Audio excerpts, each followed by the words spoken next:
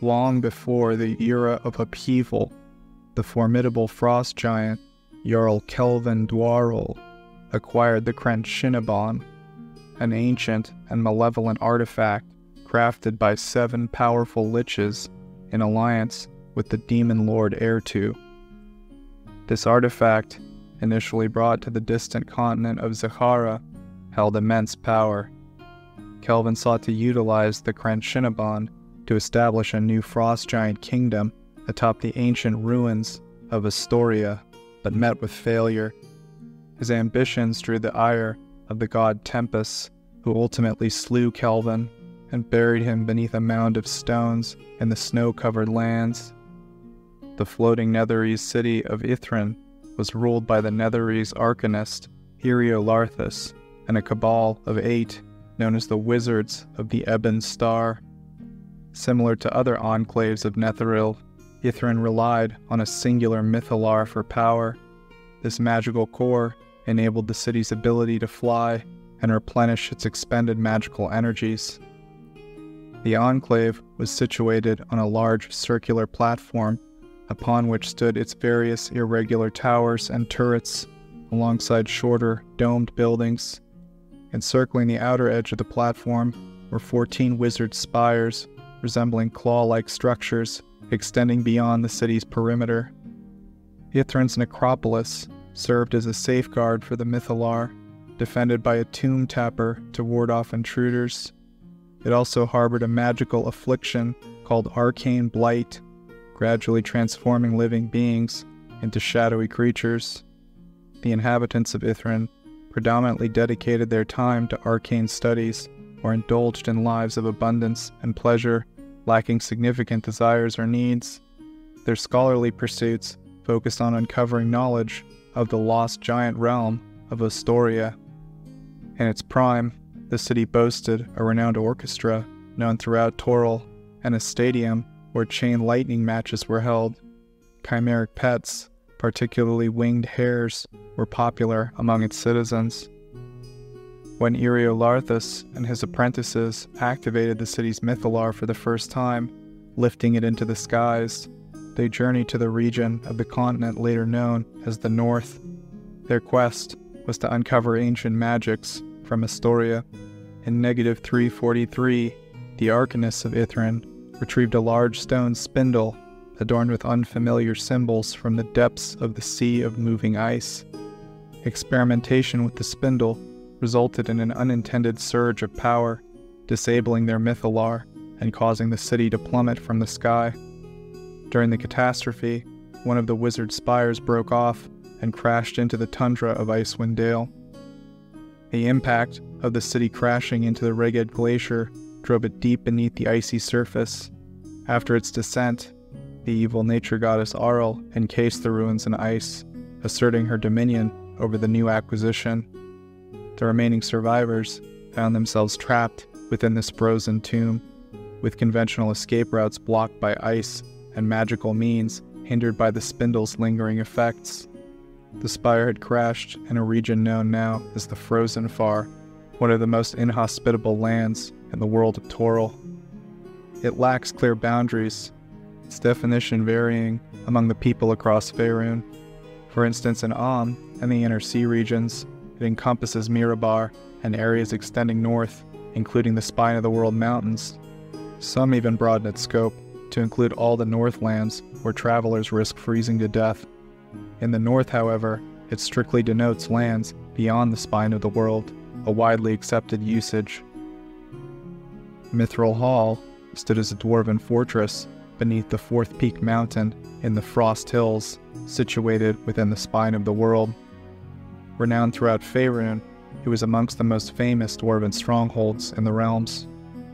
While the exact founding of Mithril Hall remains uncertain, it predates the year zero by the Dale Reckoning and was established by Gandalug Battlehammer. Initially established as a mining operation due to the abundant mithril ore, the hall swiftly evolved into a bustling community. Its true location was a secret to outsiders, with the dwarves conducting all their trade on the surface to maintain secrecy. During the late 1100s, the dwarven miners breached a shadowy cavern connected to the plane of shadows, inadvertently releasing the formidable shadow dragon, Hyrin known as Shimmergloom. Assisted by legions of shadow creatures and Duergar, Shimmergloom unleashed devastation upon Mithril Hall. Despite valiant resistance, the dragon's onslaught claimed thousands of lives, including Bangor and Garumn Battlehammer.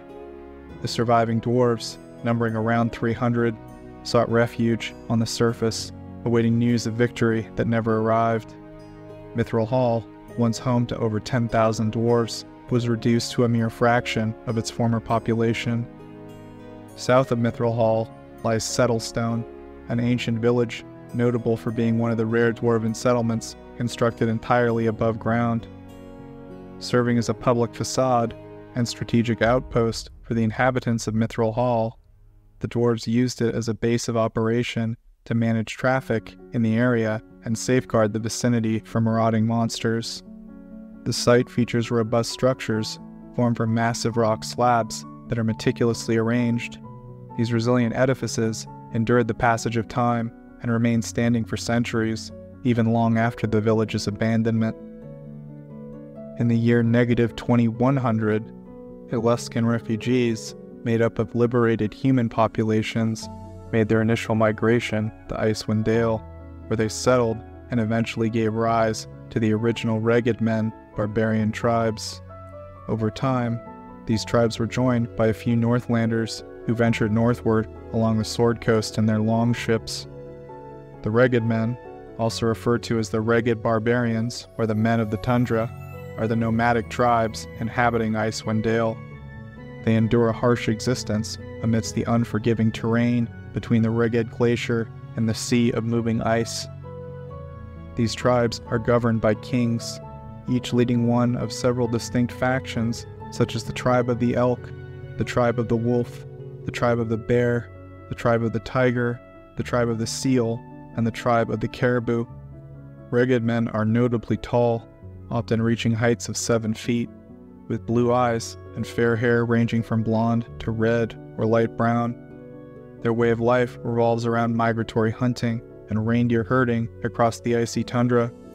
They dwell in deerskin tents and fashion tools and artifacts from wood and whalebone. Their language, Reghedjic, is unique to their culture, and like many of their ilk, they harbor distrust towards magic, viewing it as a tool of malevolence and sloth.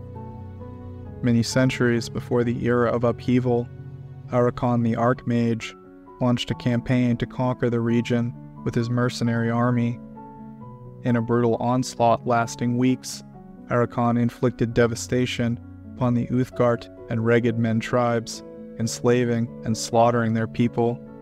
However, a warrior shaman named Jerrod rallied the remaining tribes together, and they repelled the mercenary forces. Faced with imminent defeat, Arakon resorted to desperate measures, summoning a horde of demons from the lower planes through a portal. In a sacrificial act of heroism, Jerrod hurled himself into the portal, sacrificing his life to prevent the fiends from engulfing Icewind Dale and saving his people from annihilation. In the ensuing years, Kresselack, the Black Wolf, emerged as a formidable leader among the barbarian tribes of Icewind Dale. Despite his ruthless campaign of conquest, which claimed many lives, Kresselack succeeded in uniting the tribes under a single kingdom for a brief period. The Reghed Men venerate tribal beast spirits and Tempus, the god of war, with reverence. Shamans who hold the utmost respect for their tribal beast totems serve Tempus. These totems are revered as powerful spirits, akin to those honored by the Uthgardt barbarians, although unlike their counterparts, Reghed Men shamans lack the ability to summon beastly powers. Icewind Dale, situated in the frozen far region of the north, stands as the northernmost explored territory in Faerun. Its name comes from the relentless icy winds that characterize its landscape. Geographically, it lies to the south and east of the trackless sea, north of the upper Sword Coast and the spine of the World Mountains, and west of the Reghed Glacier. Within the dale, the prominent Kelvin's Cairn Mountain overlooks Bremen's Run Valley, while access primarily comes via the Northern Means, a road extending from the coastal city of Luskan. The climate of Icewind Dale is predominantly Arctic, with freezing temperatures prevailing for much of the year. Summer months bring mild temperatures, while winter months plunge to bone chilling lows. Relentless snowfall occurs, though much of it is carried eastward to the Reghed Glacier. Nights are prolonged, offering little sunlight, especially during severe winters. The winds from the Reghed Glacier relentlessly assail Icewind Dale, penetrating every crevice and barrier, draining warmth from even the sturdiest shelters. The sun offers little relief from winter's onslaught, leaving days dim and nights dark. Storms bring hail and sleet, encasing everything in ice and obstructing trails to warmer lands. To the east, the Reghed Glacier's icy cliffs tower like prison walls, while to the south, the snow capped peaks of the spine of the world dominate the landscape. To the north and west, the sea of moving ice churns with its deadly formations. Icewind Dale boasts a rich array of wildlife, featuring creatures like hares, Arctic foxes, reindeer, and elk, all finely adapted to endure the severe cold. Larger predators, such as crag cats, mammoths, polar bears, saber-toothed tigers, snowy owlbears, and formidable yetis, roam the snow covered terrain in addition to the wild animals, Icewind Dale harbors packs of scavenging gnolls and voracious ice trolls. Flora in the region also offers unique specimens, with various plants from the region being traded across Faerun for their properties. There are also a native species of carrion flesh eating bees, which are utilized to produce a favored local beverage. Among the most remarkable fauna, the knucklehead trout is an exclusive species inhabiting the three lakes of Icewind Dale. Notoriously hard headed, these fish are prized for their immense strength, posing a challenge to fishermen who attempt to catch them with nets or lines. Male knucklehead trout can be about half the weight of a human, while females are typically a bit smaller. Their bones resemble ivory and are highly valued for the scrimshaw artistry, crafting elegant carvings and sculptures in demand in the affluent markets of Faerun. The Ten Towns, a collection of frontier villages in Icewind Dale, formed around the three lakes of the region Redwaters, Loch Dinneshere, and Maer Dualdon around the 11th century. Linked by a rugged road known as the Ten Road, these settlements stretch from the ocean of the Sword Coast to the spine of the world. The Ten Towns draw individuals from across Faerun seeking new beginnings or escape from their past lives. While each community promotes diligence and collaboration, intertown relations reveal the fierce competition necessary for survival in the North. The economy of the Ten Towns relies heavily on fishing and the sale of knucklehead trout, along with scrimshaw crafted from their bones. This industry sustains the town's livelihoods, with each settlement maintaining its fleet of fishing vessels. Apart from fishing, certain towns have alternative revenue streams. For instance, Lonelywood is the only location in the region where logging occurs, thus, the lumber sourced there holds significant value. In settlements scattered across Icewind Dale, whale oil holds significant importance as a commodity. Given the scarcity of wood, it has emerged as the preferred fuel for heating homes and hearths. Consequently, Whaling ventures across the sea of moving ice are one of the region's most lucrative industries. Among the distinctive natural resources of Icewind Dale is a mineral called chardalyn. This unique stone possesses the remarkable ability to absorb magical energy, which is then released upon being crushed or destroyed. The government of the Ten Towns is overseen by the Council of Ten Towns, a body comprising representatives from each town commonly known as the speakers. These are chosen based on their influence and leadership. The council holds authority in making official decisions for all the towns. Despite its purpose of fostering collaboration and support, the harsh competitive nature necessary for survival gives rise to tensions and rivalries between them. Each town vies to secure prime fishing locations and favorable trade agreements, leading to frequent disputes. Notwithstanding these challenges, the Council of Ten Towns plays a vital role in upholding order and stability in the region. It serves as a platform for peacefully resolving many of these conflicts and coordinating unified responses to external threats. The people of the Ten Towns are tough and suspicious of outsiders. They have a history of bloody battles against barbarians and tyrants, which has made them resilient and cautious. The harsh environment they live in has shaped their character, and they view visitors as potential trouble. Many of the residents are fugitives from warmer lands, and they've had to develop a tough mentality to survive here. Travel throughout the Dale is extremely treacherous and predominantly occurs via dog sled or snowshoeing, though some opt to ride on indigenous axe beaks. Axe beaks are formidable flightless birds native to various regions in the realms like Icewind Dale and are recognized by their sharp, wedge shaped beaks.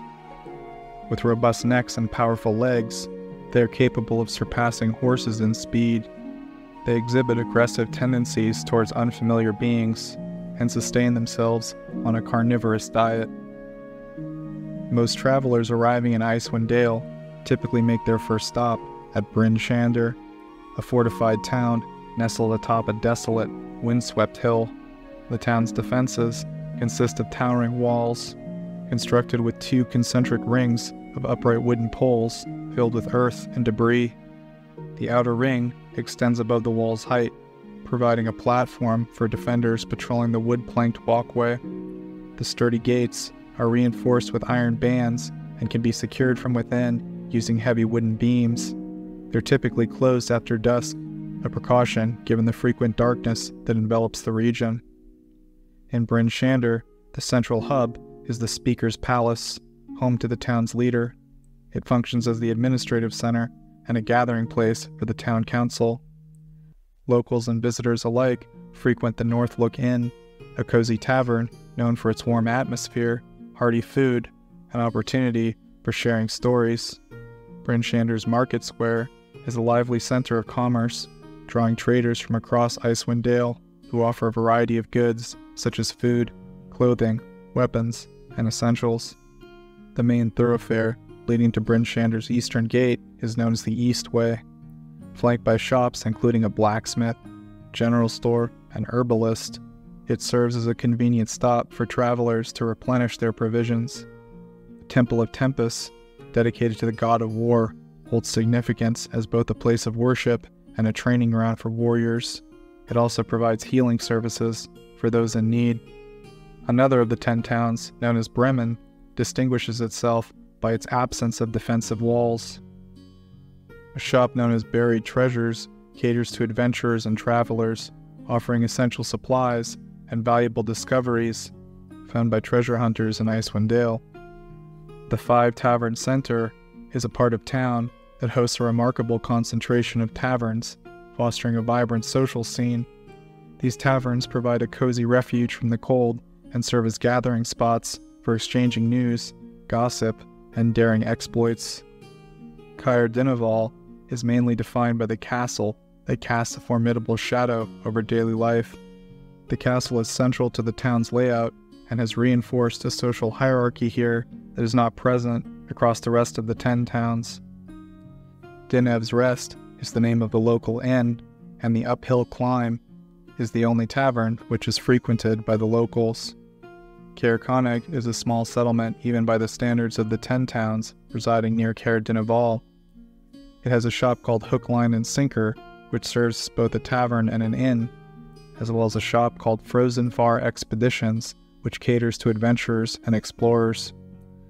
Dougan's Hole is the smallest among the 10 towns in Icewind Dale, with the residents unaccustomed to visitors. The 20 Stones of Thrun is a peculiar landmark comprising a circle of ancient megaliths. It stands as one of the few prominent features in this otherwise austere settlement. It holds significance as a touchstone of historical and cultural heritage drawing interest from both residents and visitors curious about the region's ancient past. East Haven distinguishes itself with its thriving fishing industry, which serves as the backbone of its economy and cultural identity. It's renowned for its industrious populace and the daunting trials they confront amidst the icy waters and creatures lurking within. The East Haven Ferry is a feat of engineering excellence and is a vital conduit for transportation across Loch Dinneshere, facilitating trade and passage between East Haven and neighboring settlements around the lake. The Wet Trout is a tavern that acts as a communal heart for the fishing town. The White Lady Inn is another cornerstone, providing lodging and local gossip. Its moniker is a nod to the spectral legend that shrouds East Haven. The White Lady is a spectral entity that appears over Lake Dinneshere and certain locations within the ten towns of Icewind Dale. Although some in the town of East Haven regard her as a mere curiosity, she harbors a sinister and malevolent nature. When she materializes in her physical form, the White Lady takes on the appearance of a thin, gaunt woman with flowing white hair. Those who draw near to her spectral presence will witness her visage transform into that of a malevolent, grinning skull. The White Lady can be summoned through a seance, where she will answer three questions before vanishing temporarily. Her responses often manifest by writing in frost on the windows of her namesake inn, or by briefly possessing the form of the seance leader. If her ethereal form is destroyed, the White Lady's spirit simply returns to Dinneshere. However, when she appeared before those present at the seance, she will attempt to possess them and compel themselves to drown within the icy waters of the lake. Although she rarely appears on land, the White Lady will sometimes take on the guise of a captive woman within the East Haven Town Hall. In this form, she will masquerade as an innocent victim, bound to a ship's figurehead carved from chardalyn in the shape of a demon. Legend has it that the White Lady was once a mortal woman married to a miserly man who met his demise in Lake Dinneshere, taking his wealth down with him. However, the White Lady herself has no recollection of her own death or that of her husband. The town of Goodmead garners acclaim for its honeyed mead, a comforting elixir that not only staves off the chill during the interminable nights, but also stands as a prized export, drawing merchants from afar. Serving as the heart of the community, the Mead Hall plays host to gatherings, festivities, and shared meals. The Shrine of the Flaming Sword is a sanctuary dedicated to the revered deity. Lonelywood draws sustenance from the abundant yet hazardous resources of the surrounding woodlands. It also hosts the Happy Scrimshander, a haven for the craft of scrimshaw, where the intricate carvings from the sea creature's bones and tusks are crafted. The tavern there is known as the Lucky Liar. Renowned for its robust maritime heritage, Targos flourishes through fishing and trade, with its harbor serving as a vital artery for economic sustenance. The town's impressive fortifications and well trained militia stand as a bulwark against the myriad threats of the Icewind Dale. The inn is known as the Luskan Arms, and the tavern is known as Three Flags Sailing. There's also an emporium known as Triglio, catering to the needs of adventurers and fishermen, offering a diverse array of gear and provisions. Termalaine is renowned for its gem mines. The tavern there is known as the Blue Clam, and the mining district is known as Eastside. Icewind Dale kobolds are a unique subspecies that have evolved to thrive in the unforgiving cold of Icewind Dale. They primarily inhabit the mountainous terrain of the region. They are known to be particularly hardy compared to other kobold variations. One of their distinct characteristics is their inclination to seek out and pledge allegiance to white dragons. Additionally, there have been documented instances of Icewind Dale kobolds forming alliances or interactions with other species, such as a group of kobolds residing on a rock formation along the southern shore of Redwaters who befriended a frost giant exile. An orc community situated in Icewind Dale known as the Green Moss Tribe originated from two distinct factions driven into the region from the south of the spine of the world. The initial faction comprised followers of Auril, the goddess of winter. Originally hailing from Silvery Moon, a city renowned for its magical power and artistic endeavors, they were led by the High Lady Alustriel Silverhand, a prominent wizard among the Seven Sisters. However, their association with the Frost Maiden, a mysterious aspect of Auril, led to their exile from Silvery Moon. A second faction consisted of the Ondontis, pacifist orc tribe devoted to Eldath, the goddess of peace and tranquil places. Unlike conventional orc tribes, the Ondontis adhered to pacifism, which led to their expulsion by more warlike orc factions. In the harsh environments of Icewind Dale, these two groups have consolidated into the Green Moss tribe. They're known for their knowledge of the local flora and often trade with the inhabitants of Silvery Moon. Auril is commonly depicted as a slender, alluring human figure with blue hued skin, her form crafted from ice and snow, accentuated by long, flowing white hair. Among her various manifestations, she assumes the persona of the Frost Maiden. Throughout the annals of the Forgotten Realms, Auril aligned herself with the malevolent deities of nature, such as Talos, the god of storms, and Umberlee, the goddess of the sea. This alliance fortified her position during the time of troubles, a period where all gods were rendered mortal. Auril's history is fraught with strife, fury, and retribution. Her followers, distinguished by the emblem of a snowflake, are hardy individuals who have endured harsh winters under her patronage, acquiring proficiency in ice magic as a result. However, there are instances when Auril's power wanes, rendering her vulnerable. An array of beings pay homage to Auril, including druids, avariels, elemental archons, fae, frost giants, denizens of frigid climates, rangers, spriggans, and boors or winter hags. She holds significant influence in the region of Tyres, with most Tyre clerics venerating the Frost Maiden. Her overreaching ambition is to impose perfect stasis upon the world, akin to a pristine ice sculpture, admired eternally for its beauty. Should this necessitate the obliteration of all life by casting the world into perpetual darkness, so be it. Mortals, in her view, are capricious agents of change, devoid of a place in her immaculate, crystalline realm. The Caves of Hunger are located within a massive glacier in Icewind Dale, and they're a sprawling labyrinth of tunnels and chambers. Within the caves, ancient horrors reside that have been lying dormant for millennia. One notable feature is a golem laboratory, suggesting that the caves may have served as an arcane workshop of sorts. Additionally, the caves are home to vampire kobolds, cursed by dark energies within. At the deepest point in the caves lies the fallen Netheril city of Ythryn.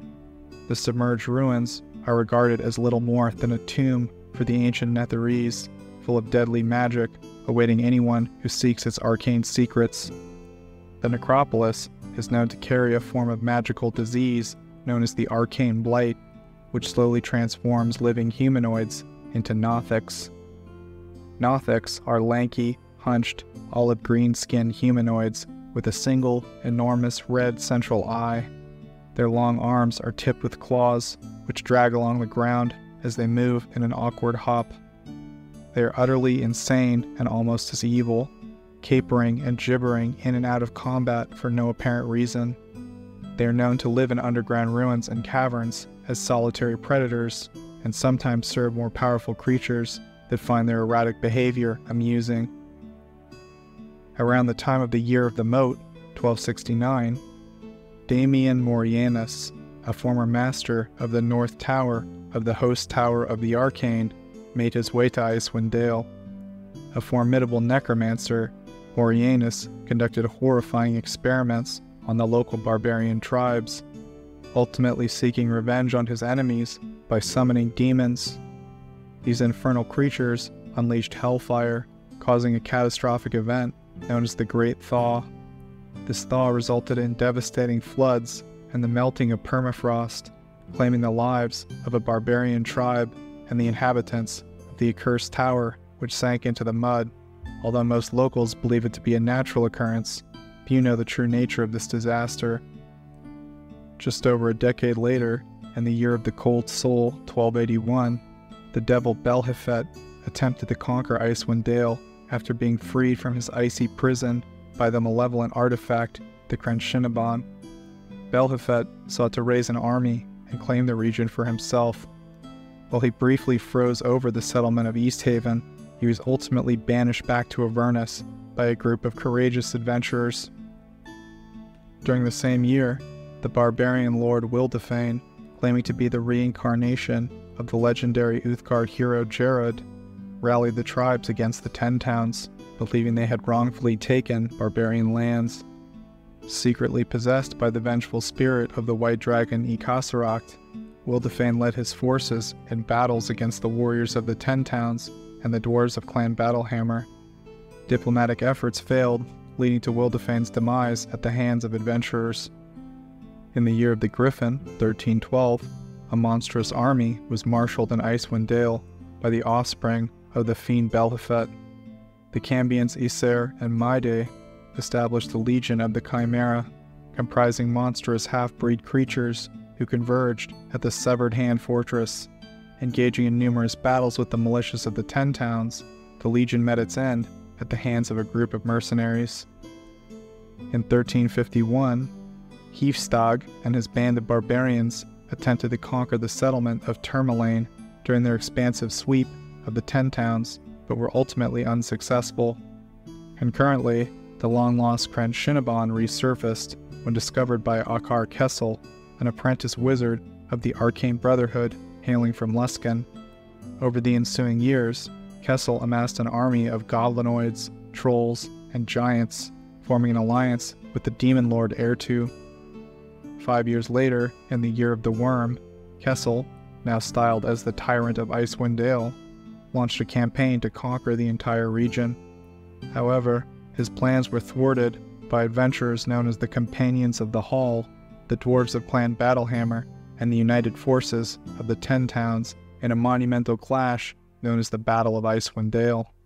During this conflict, the Crenshinibon was destroyed, unleashing its malevolent demonic magic upon the Chardalyn Ore of Icewind Dale.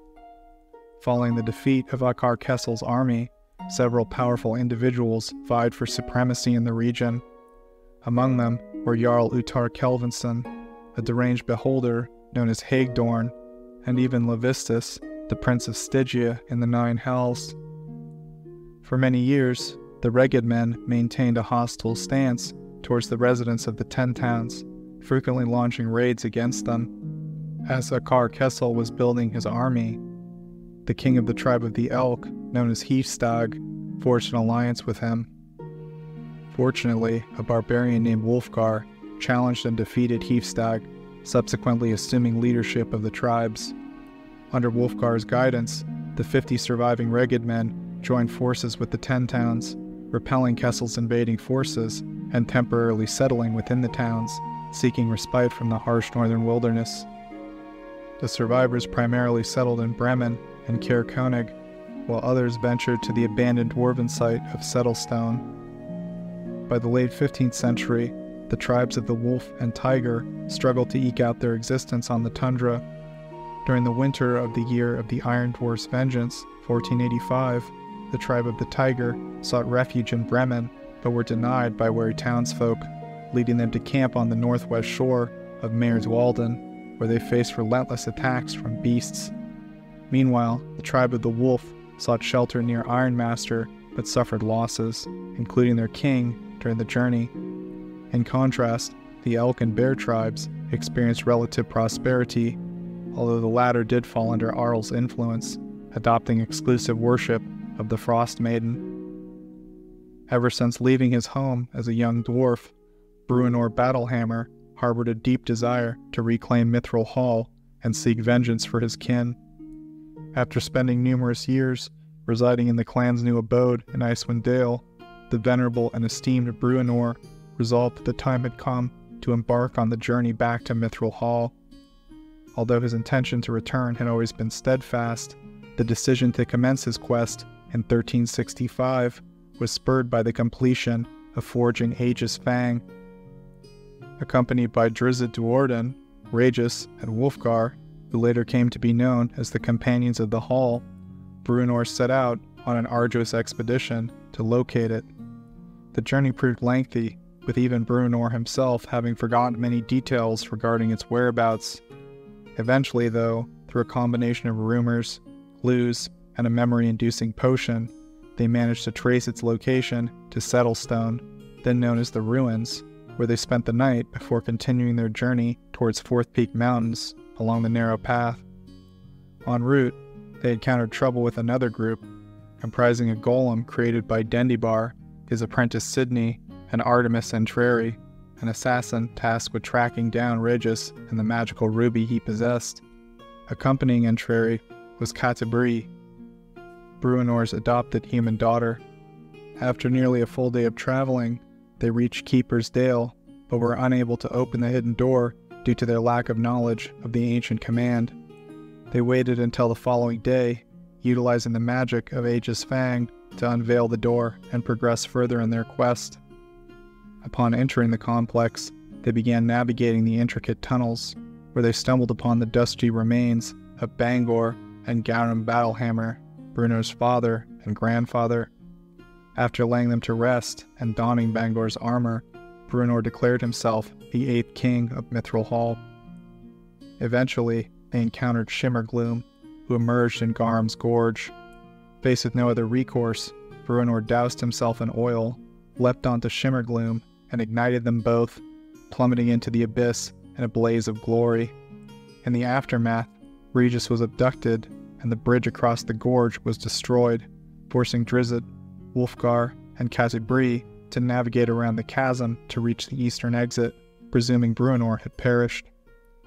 However, Bruenor miraculously survived his fiery descent, saved by Drizzt's magical sword, Icingdeath. Emerging from the dragon's carcass, he proceeded to purge Mithril Hall of Shimmergloom's minions, dispatching numerous Duergar as he traversed the tunnels. Eventually, he escaped the complex by scaling a furnace chimney where he encountered and defeated a giant spider, though not without being bitten. As the venom coursed through his veins, Bruenor succumbed to unconsciousness upon reaching the surface. He awoke under the care of Alustriel Silverhand, who had rushed to his aid upon foreseeing his plight. With Mithril Hall liberated from the dragon and its minions, it became habitable once more. Many dwarves of Clan Battlehammer departed from the dwarven valley of Icewind Dale to resettle within the ancient halls. In the year 1358, an army consisting of drow, goblins, and kobolds, under the leadership of House Baenre, launched an assault on Mithril Hall from Menzoberranzan. The defending dwarves were swiftly aided by deep gnomes from Blingdenstone, local barbarians from Settlestone, led by Berkthgar the Bold, reinforcements from Nesme under the command of Galen Firth, and the Knights of Silver, alongside the enigmatic Harpells of Longsaddle. At one crucial juncture, the wizard Alustriel intervened to deter the attackers. Following several days of fierce combat, the malevolent forces, including the Drow and their allies, were ultimately vanquished and driven back to their shadowy depths.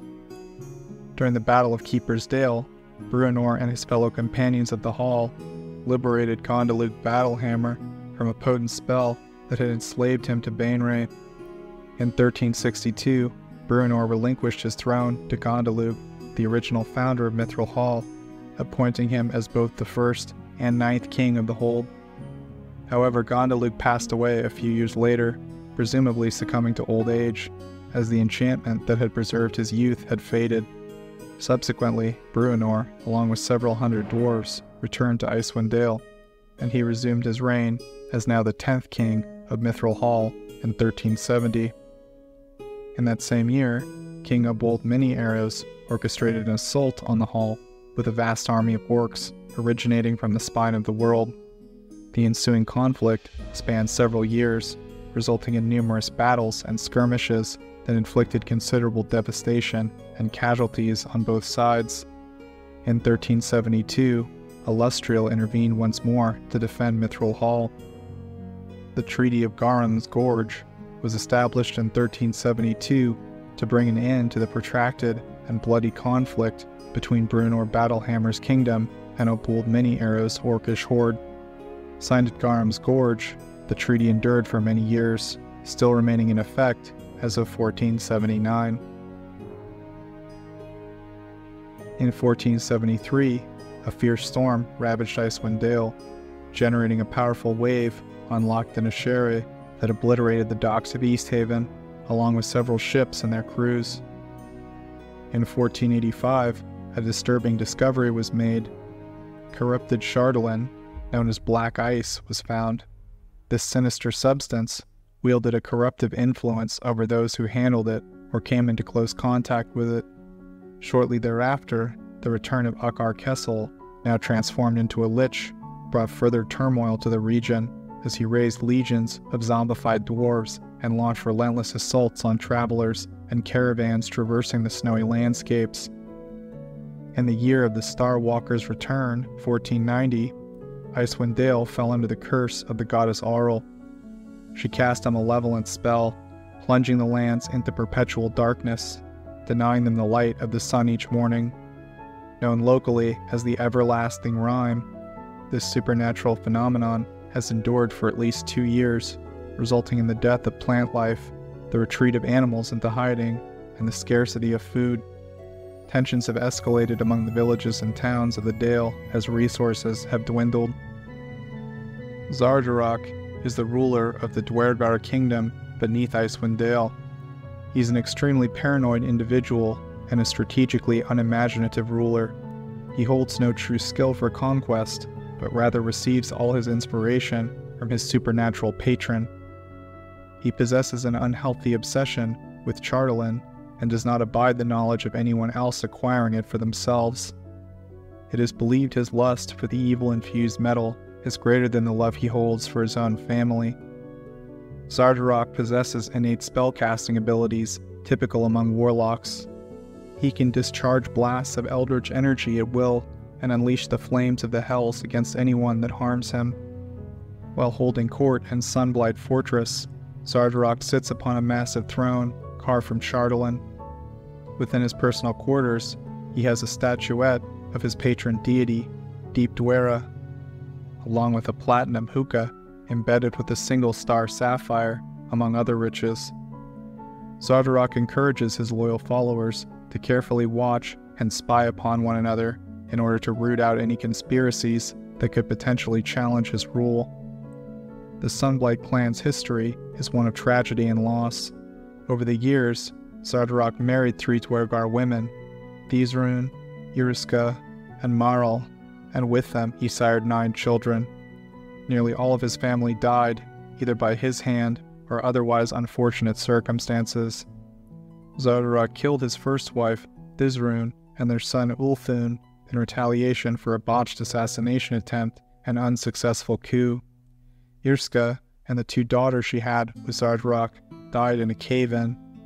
Marl and four of the Sunblight children died during a failed raid of a mind flayer colony. By the time he raised the fortress of Sunblight, Xardorok had two remaining sons, Durth and Nildar. Likely due to the failed patricide carried out by his eldest son, Xardorok kept him busy with missions that were far removed from court life in Sunblight. At some point during the late 15th century, Xardorok was visited by who he believed was Deep Duerra, but was in fact Asmodeus, Lord of the Nine Hells. The malevolent devil convinced Xardorok to raise an army and take dominion over the Ten Towns and all of Icewind Dale. He led his people up from their home in the Underdark to forge their own kingdom upon the surface world. When the goddess Auril let loose the everlasting rime over Icewind Dale, Xardorok and the Sunblight dwarves received exactly the boon they needed to act. This perpetual darkness has granted them the opportunity to raise the fortress of Sunblight within the shadows of the spine of the World Mountains. In order to take dominion over Icewind Dale, Xardorok brought up a horde of monstrous creatures from the Underdark and began massing chardalyn from all across the region. He plans to use the cursed substance to construct an enormous chardalyn dragon. Icewind Dale has faced many ambitious tyrants over the centuries, yet the region has defied conquest. The rugged, often mutually hostile communities of this frozen wasteland have banded together to defeat demonic armies and reclaim ancient strongholds when their survival is at stake. The ambitions of these tyrants to forge a mighty empire in the frozen far has resulted in the ice becoming their tomb. Despite the curse of their lands, the inhabitants continue to search for solutions to release Icewind Dale from Auril's frozen grasp and perhaps the most wild, harsh, and unforgiving environment in the Forgotten Realms.